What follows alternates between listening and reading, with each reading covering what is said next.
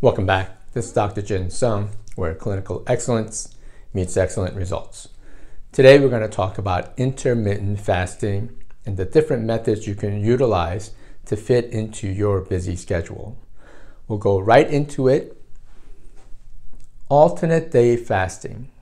This is when you're eating for 24 hours normally, and then the next 24 hours you may only drink water. So you're abstaining from eating any calories, can any calorie containing beverages and food for every other day, right? Alternate days of fasting. Next one is a modified alternate day fasting.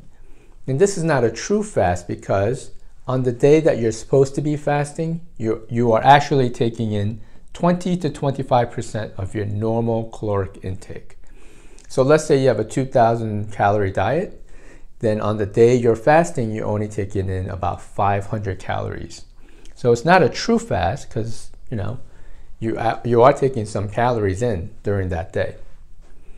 You have a time restricted feeding window. This is when you eat for a certain time frame during the day and then you fast the rest of the day.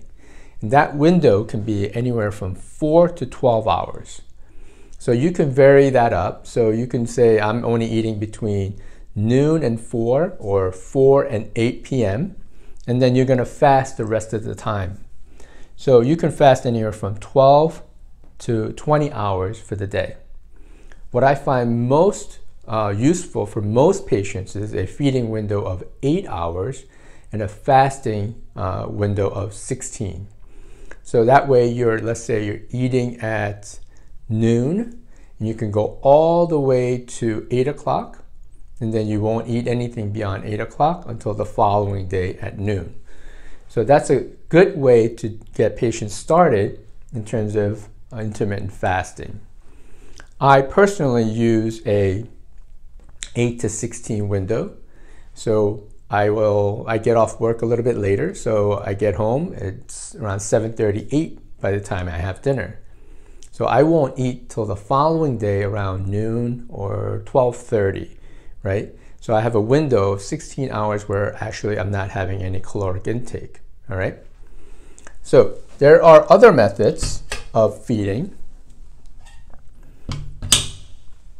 where you do early time restricted feeding. So you're going to pick a time frame, maybe 4 to 6 hours that you can eat early in the morning. And that time frame can be anywhere from, let's say, 6 a.m. to noon or 8 a.m. to 2 p.m. You pick the hours early on, and then you fast for the rest of the day, only drinking water. Then you'll have a cycling one where you have five days on and two days off. So we call it a periodic or cycling fast. You are eating for five days normally, and then you'll fast for two days, drinking only water. Okay. Another popular one is six to one, where you're eating normally for six days and then fasting for one. Now you can actually use a combination of these, right? So I personally will use the 8 to 16 fasting window, and then one day a week I will fast, right? So I will do intermittent fasting for six days, eight hours of feeding time, 12 hours off, and then on Mondays, I actually don't eat anything and drink water, right? And I see patients all day long. And I can get through that without any sluggishness or mental fatigue or anything like that. So it actually helps improve cognitive function. Now, there are other uh, feeding uh, schedules for intermittent fasting. So for someone who has, let's say, chronic inflammatory processes, you can use longer fasts to um, initiate what we call autophagy or autophagy, right? Basically cleaning up debris from your body, the dead cells. So you can go longer, three days, four days, five days, right? It's also helpful for people who have things like Alzheimer's or uh, cognitive decline, where you can use that feeding window, uh, longer uh, fasting window to help clean out uh, the debris, right? So your body is basically uh, not processing any foods, right? And is focused on um, keeping your uh, cells healthy. So a longer feeding period or fasting period for some people can be quite beneficial. But for longer feeding or fasting windows, you should be monitored, right? Because you can go into a hypoglycemic state and you don't realize it. You need to kind of gradually work into it or work with a provider who understands what's going on with you.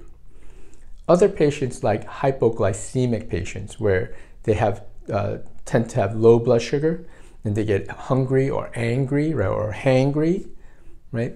Those types of patients, you have to get them a little bit more keto adaptive or have them have more fats in their diet before they can even do a fast.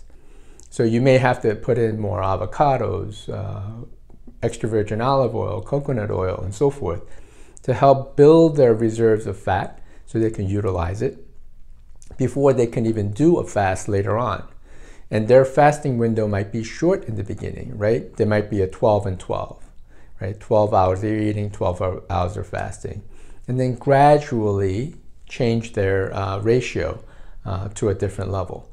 But hypoglycemic patients need to be careful. Also, with intermittent fasting or longer intermittent fasting, if you're a type 2 diabetic who's chronic or a type 1 diabetic, you have to be very cautious, right? because those patients can go into ketoacidosis. So they need to be monitored um, before going ahead and doing aggressive uh, intermittent fasting regimens. Okay? My name is Dr. Jin Sung, where clinical excellence meets excellent results. And we'll see you guys next week on the healthy side. Have an awesome day.